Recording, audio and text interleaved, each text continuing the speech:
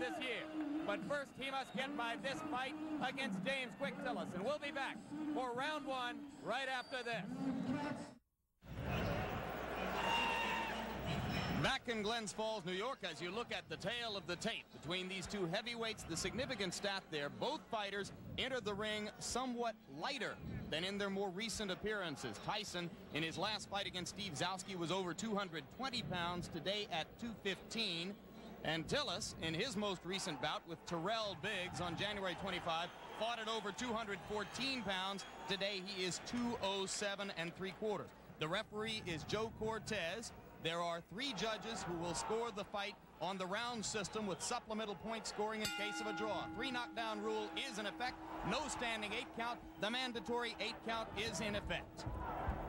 Tyson in the black trunks and James Quick Tillis in the white. Customarily, Mike Tyson does not feel his opponents out in round one. He tries to take them out. He tried to take Quick Tillis out with that first punch he threw, and Tillis showed why he may be a little bit different. He moved right out of the way of it, and Mike missed by quite a bit. The key to the fight will be Tyson cutting off the ring and pinning Tillis in corners and on the ropes like he did right there. Quick Tillis is seven pounds lighter than when he fought uh, Tyrell Biggs. That would indicate, the look of him would indicate he's in much better condition. I think the postponement allowed him to get in better condition, will allow him to move more. The question is how long can he move? His record is he's dangerous early, Jim can hurt you with either hand early in a fight, but has always faded and tired badly.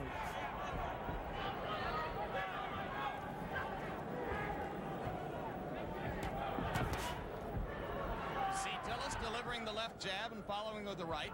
He is not running away from Tyson, and Tyson goes to work on the body.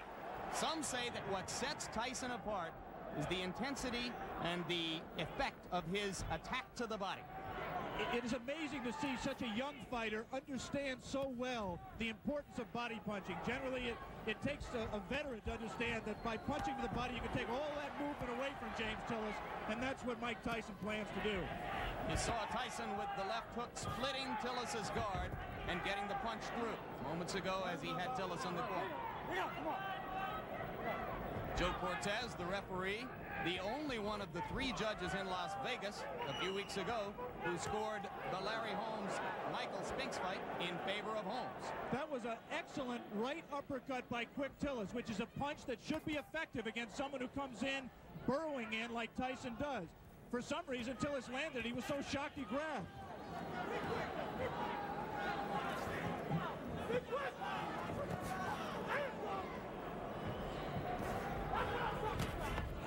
Cannot, in my opinion, win a decision in this fight, Jim. He has to try to take Tyson out while he's fresh.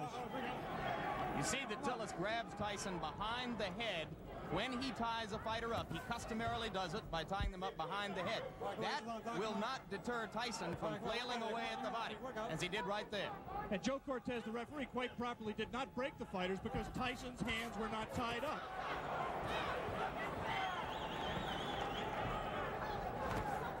Again, the right uppercut just missed that time by Tillis. Late in round one, a round in which Tillis has not acquitted himself too badly, as he has managed to stay away from Tyson's thunderbolts, although he just took a right hand. We'll be back.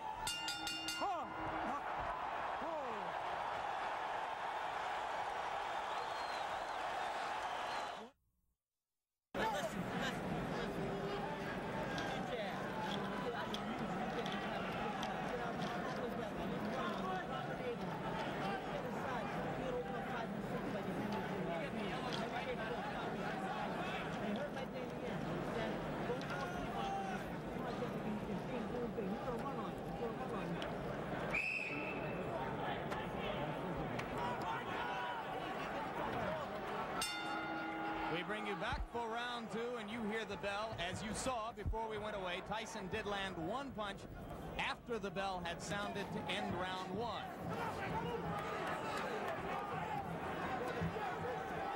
Most people in boxing, if they're looking for a way to beat Mike Tyson, believe it will be done by a fighter who is able to move and punch effectively on the move, as Henry Tillman did in winning two fights from Tyson in the Olympic trials as amateurs. All right, bring out, bring out, bring out, Clean. Come on, bring out. Tyson just landed two solid left hands. The difference, obviously, is here Mike Tyson has 10 rounds to wear down his opponent. He had to go all out in the three rounds amateur limit. Lost to Tillman in the Olympic trials. Right hand lands flush on the cheek of Quick Tillis, but that was an extended right hand. He was not in close enough to do maximum damage. Yeah, but he's not letting go of Mike Tyson. He might be shaking his hand, which, which generally means that he was hurt by the punch, even though it was, as you say, extended.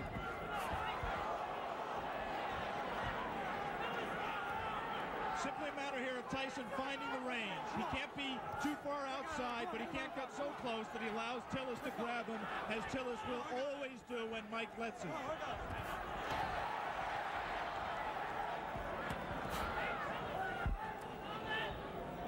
Tyson can be hit. He was openly disappointed with the number of times that Steve Zouski landed on him in his last fight. Any Cus D'Amato-trained fighter prides himself on his defense. And Mike really was disappointed that uh, Zouski hit him with some right hands, really silly right hands that he should not have been hit with. It was just a loss of concentration. The right hand by Tillis was blocked there. A jab by Mike Tyson, a rare punch for him in his first 19 fights.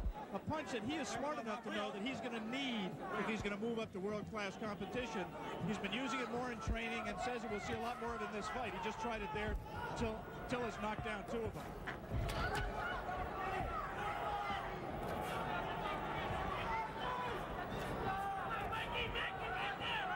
Good head movement by Tyson coming in.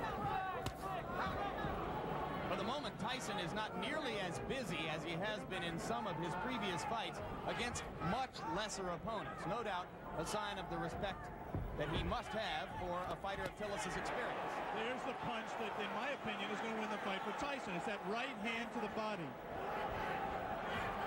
He won't knock Tillis out with it, but he will wear him down and bring his hands down so he can land punches to the head. He got him with the left. And you saw Tillis staggering backward momentarily. Not seriously hurt, but Tyson has begun to break through the guard around the face. And there's a right hand as Tyson continues to land and round two ends. Okay.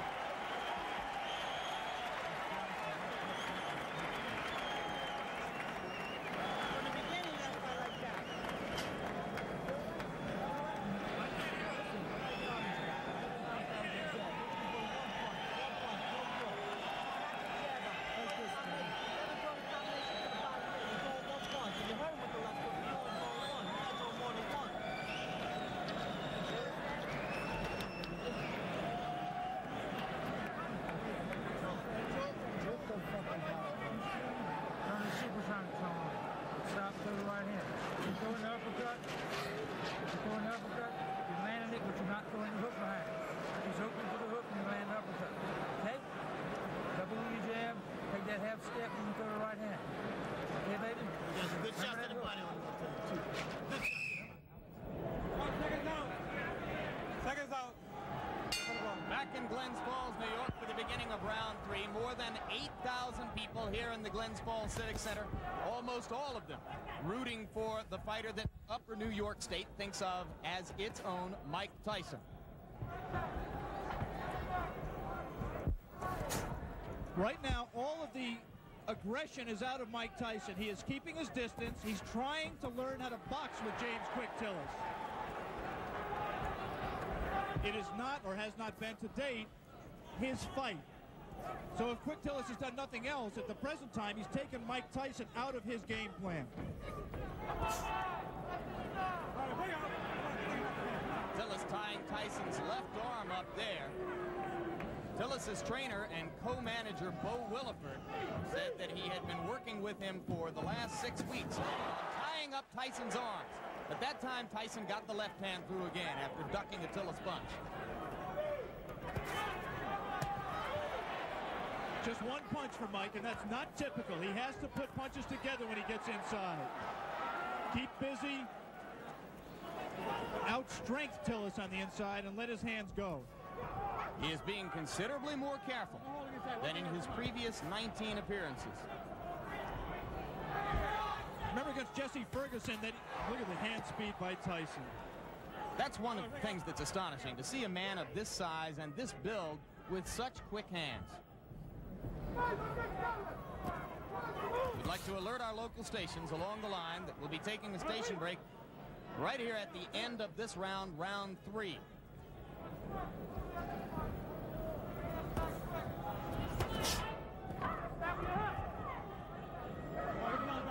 I was saying in the fight against Jesse Ferguson, Ferguson fought a negative fight, fought to survive for the most part. The punch that turned the fight around was a, a combination, actually, a right to the on, body and then out. doubling with it, coming right up the middle. on, Let go, let him go. Looks to me like Tillis is open Go for an on, uppercut up the middle the same way.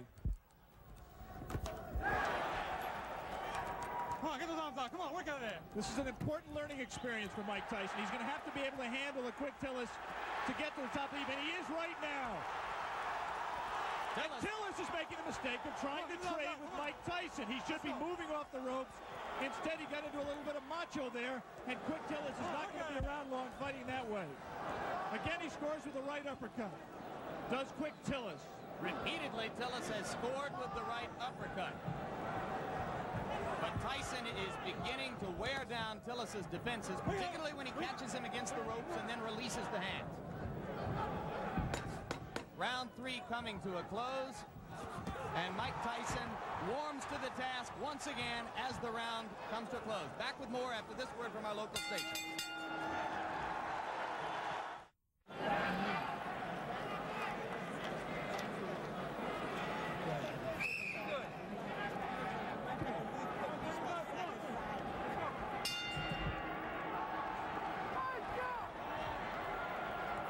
Beginning of round four, Jim Lampley with Alex Wallau in Glens Falls, New York. If you are scoring in rounds, as they do here in New York State, I had the first round even and have given rounds two and three to Mike Tyson. Right hand lands on the point of the chin, but he didn't get all of it. And a good left hook by James Tillis. And again, inexplicably, Quick Tillis grabs after he scores the best punch he scored in a couple of rounds. You should put punches together, punch in combination, and he might give Mike Tyson more trouble than he wants. He also can't lunge in with that left hook like that because he's going to get caught. And having felt what Tillis has to offer in the way of the uppercut and that one left hook which scored, Tyson now appears to be a little less shy about stepping up inside. Tillis is landing punches. He's landing hard punches, and interestingly, Mike Tyson is taking them. I mean, he doesn't want to get hit with them, but one of the questions about him, as it is with all developing fighters, is can he take a punch? Quick Tillis has had people like Carl Williams on the deck twice, Greg Page on the deck, Marvis Frazier hurt. He can punch when he's fresh like this. Switches left-handed. Tillis is a converted southpaw. Punches hardest with his left hook. Fought as an amateur. Fought as a southpaw as an amateur. Turned around in the middle of his amateur career.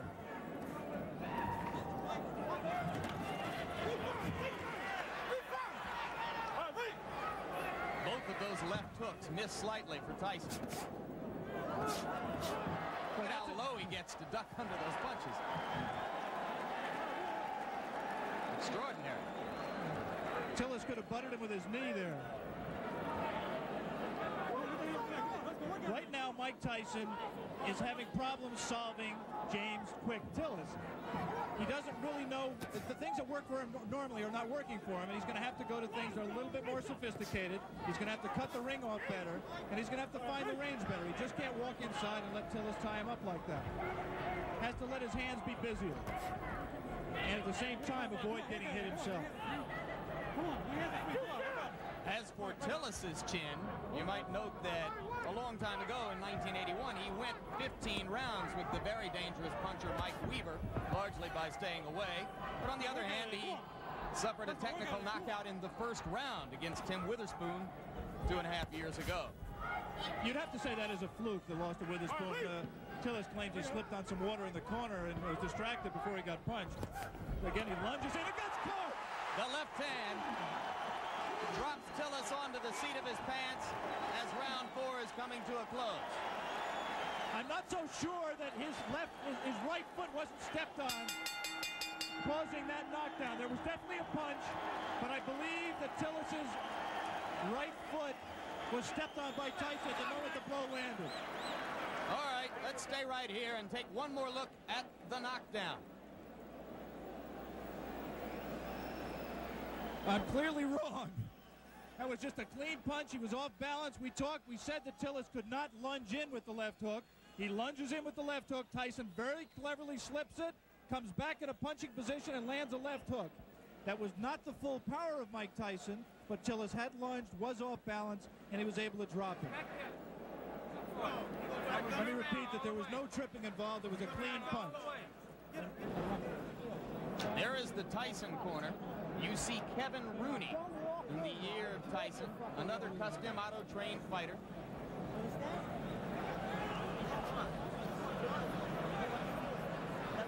The longest Tyson bout was the fight against Jesse Ferguson.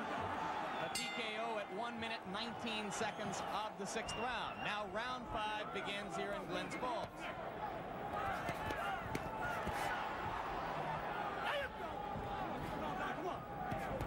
Tillis still willing to trade leather with Tyson. I don't think that was a punch. The knockdown punch was a punch that hurt Quick All right, Tillis. bring out. Bring out. It definitely got his attention, but he wasn't debilitated by it. It's not a. ma- That was not looking. Did not look to me to be the beginning of the end. He might have learned not to lunge so badly with the left hand, though. And there you see Tyson whacking away to the rib cage with the right hand. Again, Cortez warns Tillis for holding behind the head. Tillis switches briefly to southpaw and goes back. And again, he holds behind the head. Mike Tyson is not doing his job in those clinches. His hands are free, but he isn't using them. Right there, there's no reason for Mike not to rip punches to the body. We talked about his ability as a body puncher. He has it. He just isn't using it.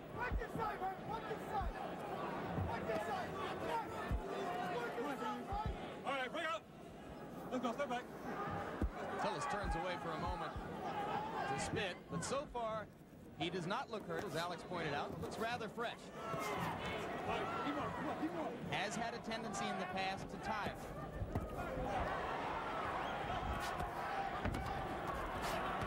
This is not a good round so far for Tyson, who is missing more punches than he lands.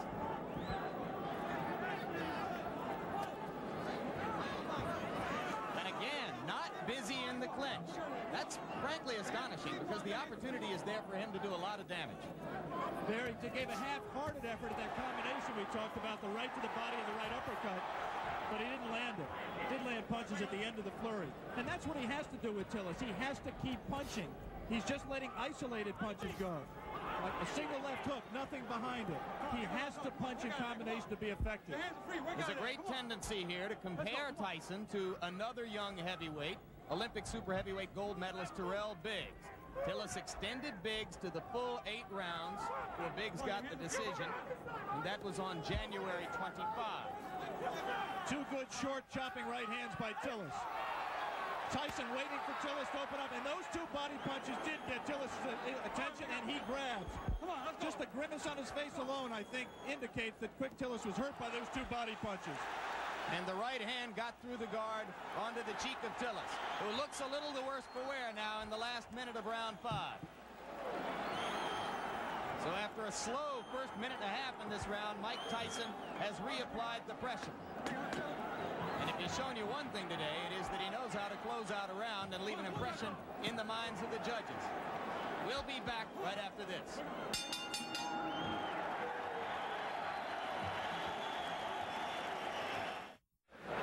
Holy Ghost thing. Come on, man. Tip, tip, tip. Just tip. Don't let it see it. Just tip. Then when you feel it, okay?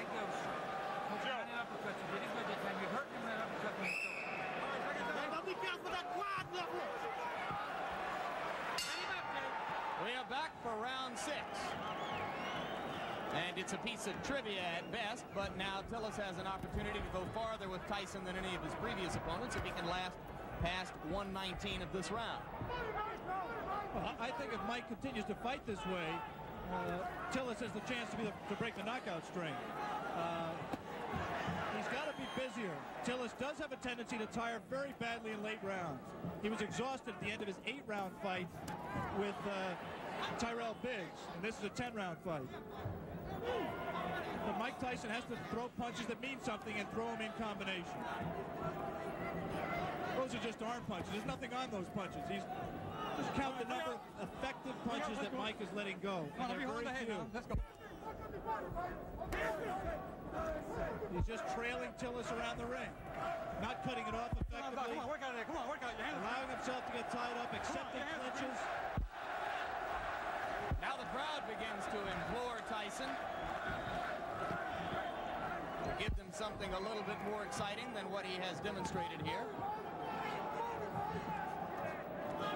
And now it becomes clear that Tillis will last longer than anyone else has, as we have just passed the point at which Jesse Ferguson was bid to stop by Luis Rivera in Troy, New York, a couple of months ago. That punch missed, despite the crowd reaction.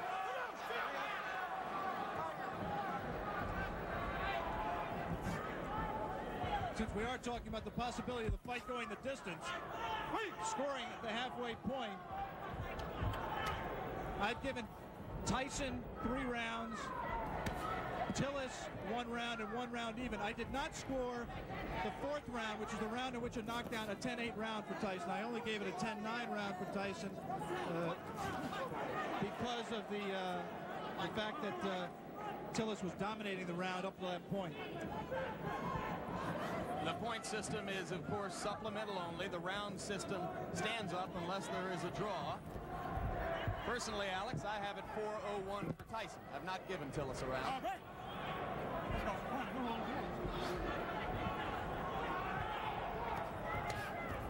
Two ways of looking at what Mike is doing. Uh, one way is to say that uh, he's pacing himself, he's waiting for the opening. The other way is to say that he's getting frustrated and getting taken out of his fight. There was moments ago a brief combination to the body of the kind of rapid fire punching that you expect from Tyson, but that was one of a very few times, perhaps the only time in the bout we've seen it. But again, he comes on at the end of the round. We are all the way through round six. Mike Tyson and James Tillis will be back. We are back, and for the first time in a professional career which began 13 months ago, Mike Tyson enters round seven. Another heavyweight. Tyson with the lead in the fight to this point over James Quick Tillis. But fighting a curiously docile fight so far. Not nearly as busy or as aggressive as we've seen him in his 19 previous outings, which resulted in 19 knockouts. He almost looks right here like he's waiting for Tillis to, to make the fight, to come to him. In case you've just joined us, it is Tillis, the fighting cowboy from Tulsa, Oklahoma, in the white trunks, Tyson in the black. Tyson co-managed by Jim Jacobs and Bill Cayton. Tillis co-managed by Bo Williford and Gary Bentley.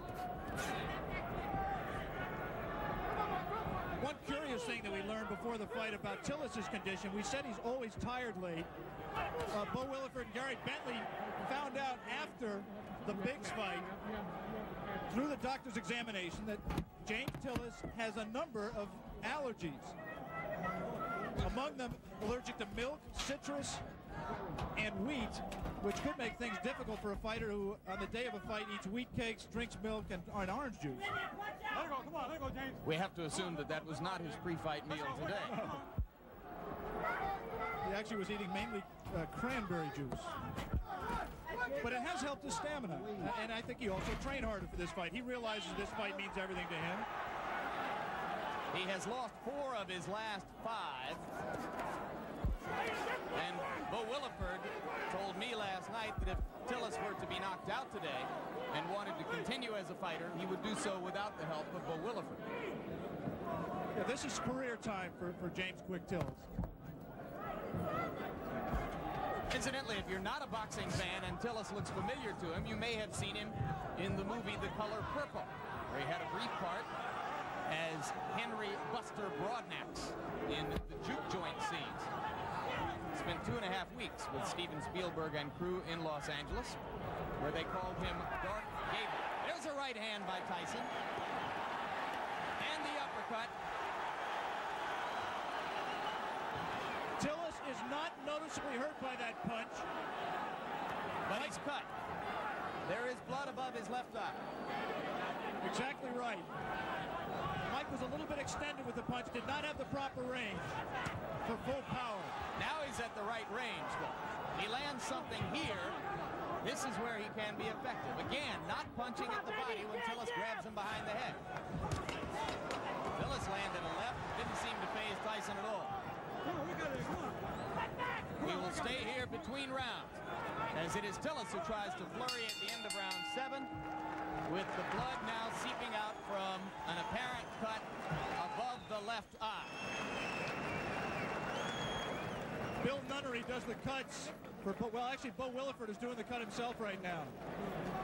Doctor in looking at it. As we look at Tyson's corner, the action is in the opposite corner, right there where they're working on James Quick Tillis's left eye. Let's take a look back at the action from round number seven. What's going on? Uh, watch that Vaseline. You see what, uh, what Tyson did there. He scored the right hand to the body, missed with the right uppercut that we said he, we thought he could land if he kept throwing it, but continued to punch. And eventually that will pay dividends. He has to continue to back up uh, Tillis and continue to cut the ring off on him to be able to score effectively. I want to give James Quick Tillis credit. He's been in with a tough young bull, and he's fought harder and, stronger really than I've ever seen him fight in his career, including the time he fought for the title. He is showing something that a lot of people have questioned over his career, and that is his heart. He's cut, he's taken some brutal punches, and he is fighting back, moving and still trying to win this fight. One of the greatest trainers in the history of the sport openly questioned Tillis's heart while he was working with him. Angelo Dundee worked with Quick Tillis for the Weaver fight and some subsequent fights. He finally just gave up. He said James had no spirit to fight. Tillis told us in the pre-fight interview that he found that spirit. Didn't know why he'd never had it, but said he found it for this fight. He was going to be a different fighter, and he has been. You cannot question his courage or his commitment today. He has been there from the opening bell. He has not run away as he did 15 rounds against Weaver in 1981.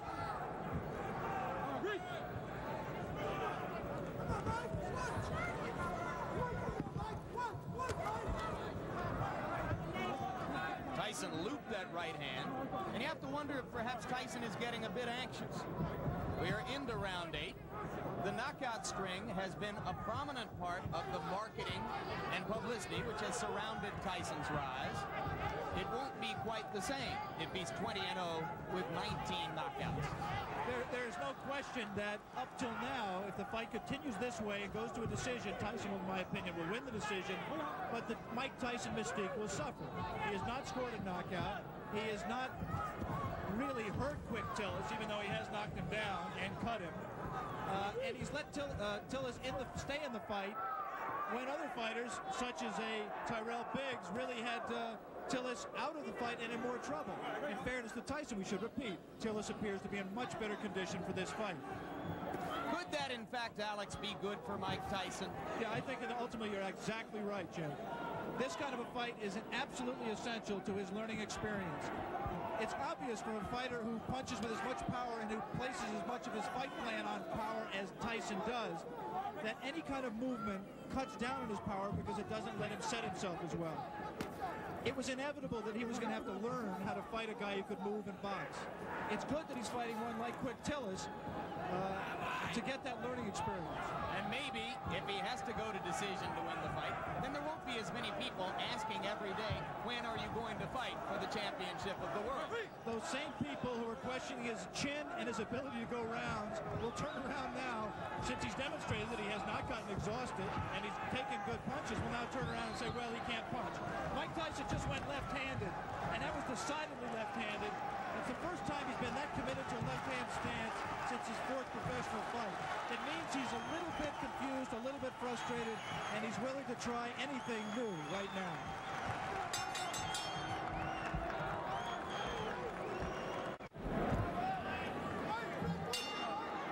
We are back in Glens Falls, New York. James Quick Tillis enters round nine with 19-year-old knockout phenomenon Mike Tyson. And in Tyson's round, or in Tyson's corner between rounds, trainer Kevin Rooney was imploring him to keep punching, not to stop punching, particularly in the clinches. Come on, get the Come on, work out of it, guys. Come on. Which is exactly what Mike just did. He was in tight, his hands were free, and he did not punch.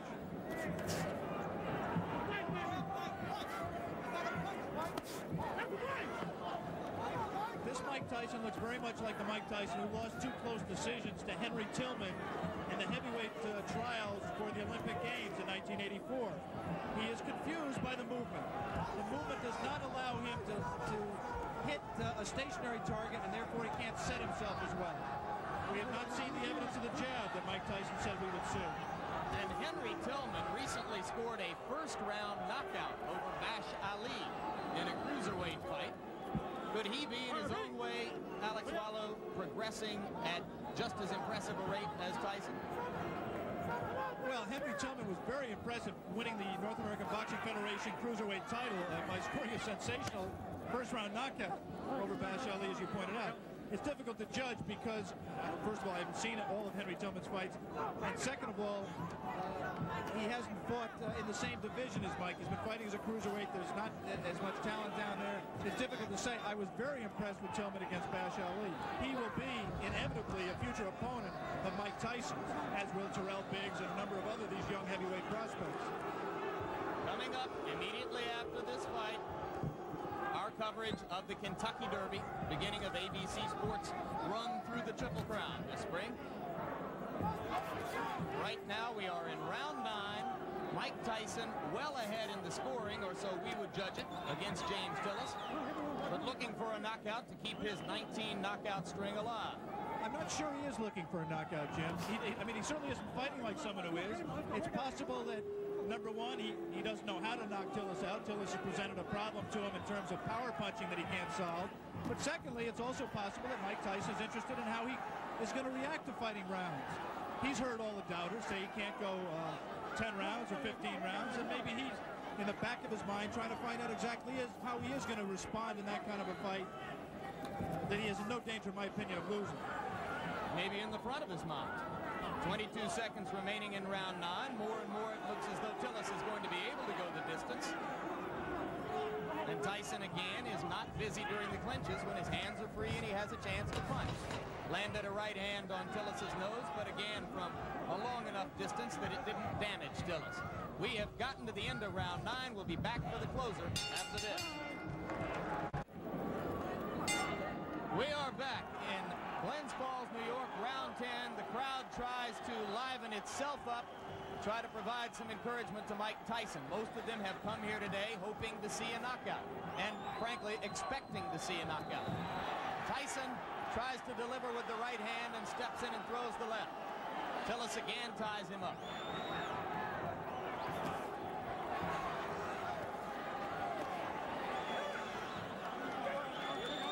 James Tillis is still a dangerous fighter. This is the, the most power and zip he's had in his punches at this late stage in a fight that I can ever remember.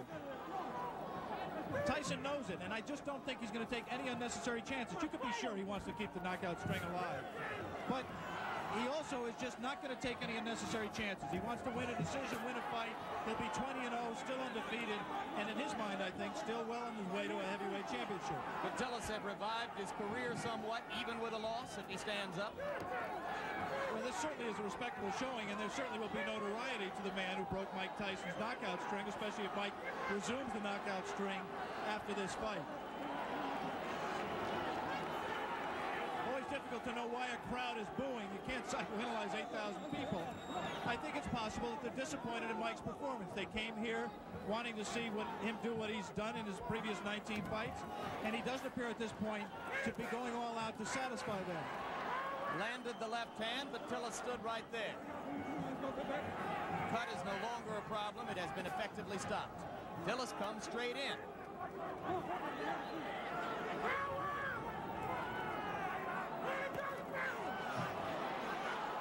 And now Tyson, one of the few times we've ever seen him swinging wildly. Good left hand. Tillis is still there.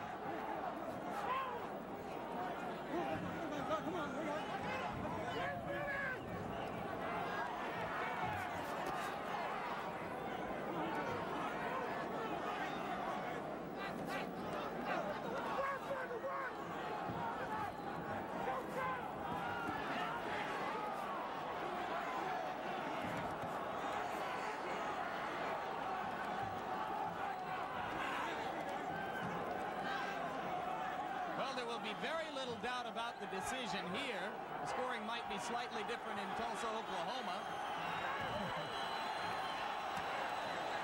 Tillis continues to give a good account of himself.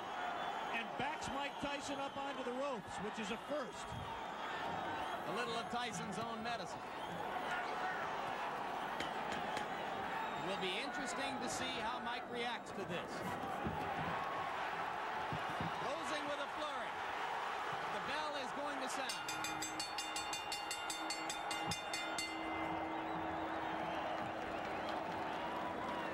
Big smile on the face of Bo Williford as he steps into the ring. I think he's quite proud, win or lose, of James Tillis. All right, now we are back live in Glens Falls, New York, and in the middle of the ring, ring announcer Paul LeFleur with the decision Ladies in and this fight. here is the official score. Judge Bernie Freakin scores it six rounds to four. Judge Al Reed scores it six rounds Judge Tony Moret scores it eight rounds to two. And winner by this decision is still undefeated, Mike Tyson. So for 19-year-old Mike Tyson, moved the record now to 19, or make it 20 wins, no losses, 19 of them by knockout. I'm Jim Lampley along with Alex Wallau saying so long for now from Glens Falls, New York.